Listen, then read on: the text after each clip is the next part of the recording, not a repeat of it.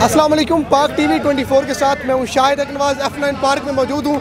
मेरे साथ तरीक साहब की सीनियर रहनुमा कमल शोजा साहब मौजूद है। मैम, क्या कहेंगी इस फैसले से मुतल जिस तरह से रेड जोन डी चौक को सील किया गया, क्या मंगोल हमला करने वाले थे या क्या रीज़न थी? चोरों को डर लग गया था कि कहीं जो एल्फी लगी हुई है, उनको वो ख़त्म ना हो जाए।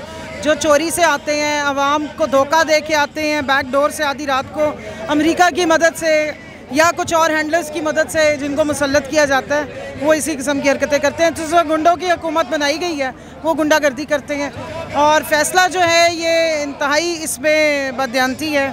और एक पर्सनल ग़ुलाम इलेक्शन कमिश्नर जो शरीफिस्तान का बना हुआ है और जरदारियों का, उसने इस किस्म का अपने अख्तियार से तजावज़ करते हुए एक ऐसा फ़ैसला दिया जिसको ओवरसीज़ पाकिस्तानी ने उधेड़ के रख दिया है।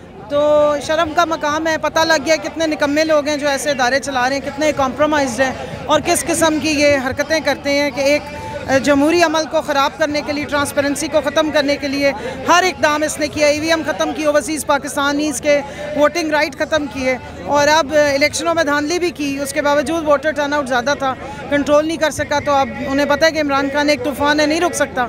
तो इस तरह के बेहुदा किस्म के बेतुके किस्म के नॉन कॉन्स्टिट्यूशनल जो है वो आ रहे हैं फैसले। खान साहब का नाम ईसीएल में डालने की धमकी दे रही हैं। साथ साथ मौलाना फजल रहमान का कहना है कि जे यू आई एफ़ तो गैबी मदद पर चलती है तो हम किस चीज़ का हिसाब दें क्या कहेंगे? मौलाना को फिर आइन और कानून की बात नहीं करना चाहिए। और उनको नैब के बारे में कहा था कि बुलाते हैं, नैब आके इंक्वायरी करे, तब उन्होंने धमकियाँ दी। जब उनसे कहा, अपनी फंडिंग बता दो। ज़्यादा नहीं है, पेशावर में इनका जो मरकज़ी ऑफ़िस है, उसके जो माथे पे पट्टी लगी हुई है, उस पर लिखा हुआ है कि ये लिबिया की फ़ंडिंग से बनी है। तो अपने बारे में तो इनके पास माशाल्लाह कहाँ कहाँ से हलवा आता है, कहाँ से खजूरें आती हैं, कहाँ कहाँ की फ़ंडिंग आती है दुनिया जहान को पता है। ये तो चलते ही फंडिंग पे हैं। तो दूसरे वालों का भी यही हालात है। बहरहाल लॉलेसनेस आवाम देख रही है। एक एक चीज़ आवाम समझ रही है रजिस्टर कर रही है।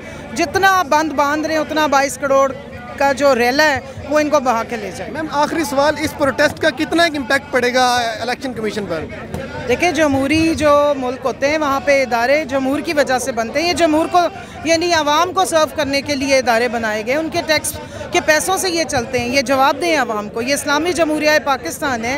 ये इस्लामी जमहूरिया जरदारिस्तान और शरीफिस्तान तो नहीं है। तो इसलिए प्रोटेस्ट भी होंगे, आवाम निकलेगी भी सही और इसके असरात आप वैसे ही देखेंगे जैसे इलेक्शन में देखें। Thank you